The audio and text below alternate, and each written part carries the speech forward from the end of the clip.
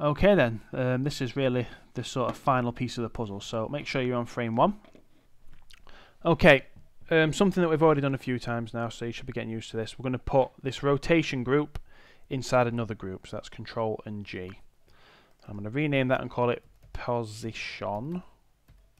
No, hang on, I just well position. Yep, animation. And this is going to be the one that contains the um, the animation that moves him forward. So on frame one, this is where I want him to start. So I'm going to press S to set that keyframe.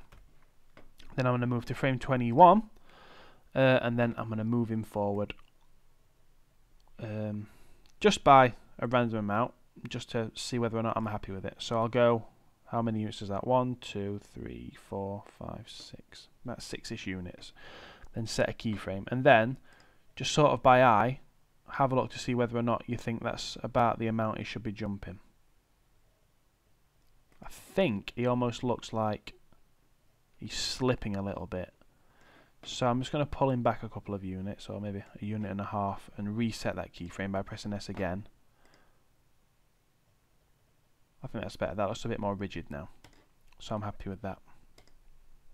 Okay, so at this point, you've got um, an animation that will loop as long as we're only previewing 21 frames. But let's say this project was 200 frames long and we wanted to preview it. We'd play it, he'd jump once and then he'd just sit there looking all lazy. Come on, Jeff, sort yourself out. So that's what we're going to sort out in the next video. We're going to um, make sure that using the post infinity um, option in the graph editor that he will keep jumping for as long as we want him to.